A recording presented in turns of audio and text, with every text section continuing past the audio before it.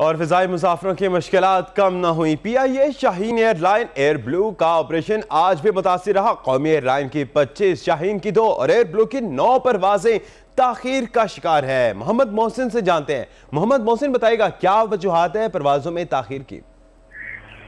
پروازوں میں تاثیر کی سب سے بڑی وجہ تو یہ ہے کہ تیاروں کی قلت ہے۔ چار اگست سے حج آپریشن شروع کیا جا رہا ہے تو تمام کے تمام جو توجہ اس وقت، وہ حج آپریشن پر ہے کہ کسی طرح سے حج آپریشن کے تیارے دستیاب ہو سکیں۔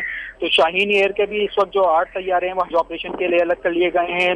ایئر بلو نے دس تیارے حج آپریشن کے لیے الگ کیے ہیں اور پی آئی کے جو تیارے ہیں، ان میں بھی خرابیاں آ رہی ہیں، جس کی وجہ سے مشکلات کا شکار ہیں۔ ایئر بلو کے ساتھ سب سے بڑا مسئلہ یہ کہ ان کے ساتھ تیاروں کے ساتھ ساتھ پائلٹ کی بھی قلت ہے، جس کی وجہ سے ان کی آج بھی نو غیر ملکی پروازیں کینسل ہوئی ہیں۔ گزشتہ تقریباً دو مہینے سے ان کی مسلسل ڈیلی کی بنیاد پہ اوسطاً آٹھ سے دس پروازیں غیر ملکی جو ہیں وہ کینسل کی جا رہی ہیں۔